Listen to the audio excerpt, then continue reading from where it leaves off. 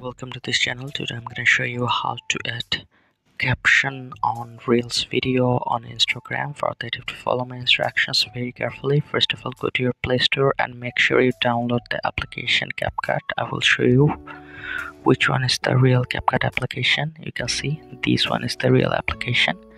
Now after installing go to the capcut application. Okay.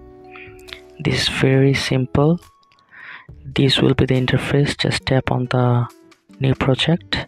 Select your particular video where you want to add the subtitle. So let's say this is the video. Okay just add the video from the bottom right corner. Now tap on the text button. Then you can see auto caption at the third portion. Tap on it. Tap on start. It's creating auto caption. We have to wait for it. You can see that the auto caption has been added.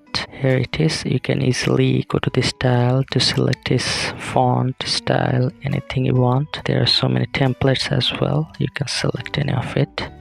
It's up to you. You can see you can adjust it like that. This is how it looks. You can see. And you can just export it from the top right corner and if this tutorial helped you like this video and don't forget to subscribe to my channel. See you in the next one